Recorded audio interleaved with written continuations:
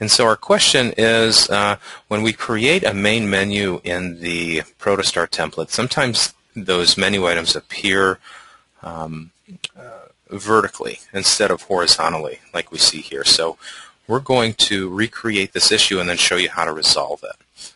Jackie, I'm going to put you on mute. I'll be right back to you, okay? All right, so uh, in the back end, I'm going to save and close this template. And what I'll do is I'm going to create a new module.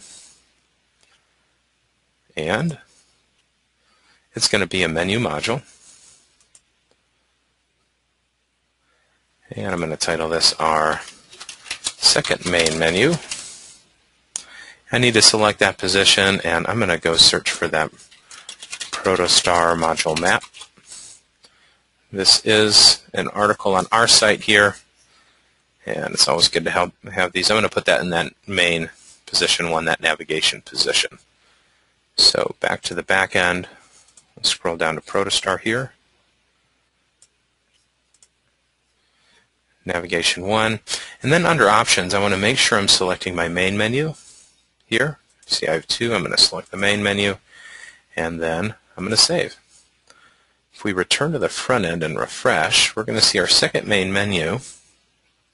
And once it refreshes, we'll see that it is uh, vertical. So Jackie, is this something, is this what yours looks like? Yes, it is. Okay, so we're going to show you how to fix this right now. We'll do this through the back end.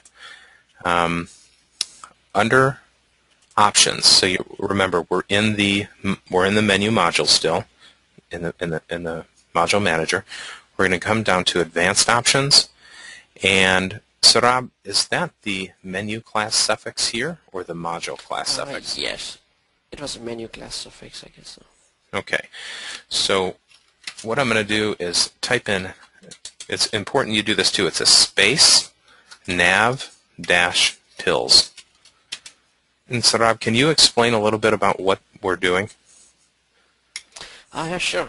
Uh, this is actually we are you know bringing all bootstrap stuff, which uh, which is using you know uh, by the Protostar template.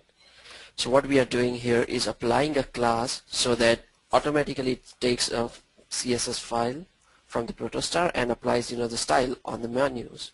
So that's what it does. Okay, so there's a CSS class already in our Bootstrap um, template file that we're CSS going to, file, yeah.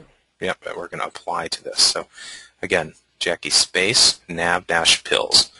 Let's go ahead and save this, and we'll return to the front end once it's saved.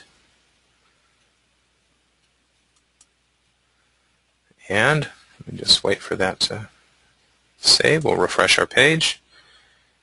And with a little luck, we'll see that our menu is now horizontal. So, Jackie, does that help? Yes, that does. Thank you very much. All right. Thanks for attending, and let us know if you have other questions.